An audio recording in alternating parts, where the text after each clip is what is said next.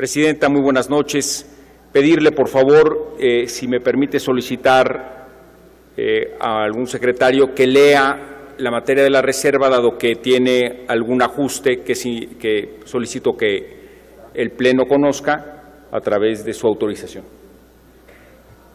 Solicito atentamente a la Secretaría si va a dar lectura a la reserva con énfasis particular en los puntos y comas, comas y demás de esta reserva.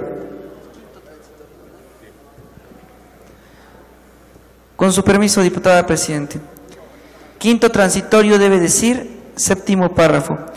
Los recursos materiales, financieros y presupuestales, incluyendo los bienes muebles con los que cuente el Instituto a la entrada en vigor del presente decreto, pasarán al Instituto Nacional de Ciencias Penales de la Fiscalía General de la República conforme al décimo primero transitorio del presente decreto.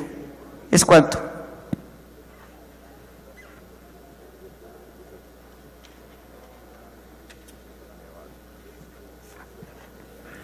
Adelante, diputado Ochoa.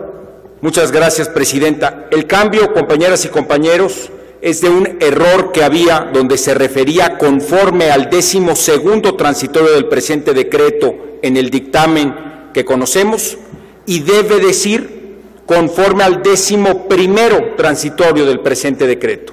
Es un ajuste que es relevante porque se refería a un transitorio que no correspondía.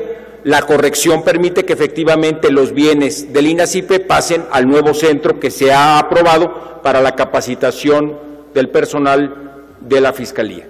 Es cuanto, Presidenta. Muchas gracias, diputado Ochoa.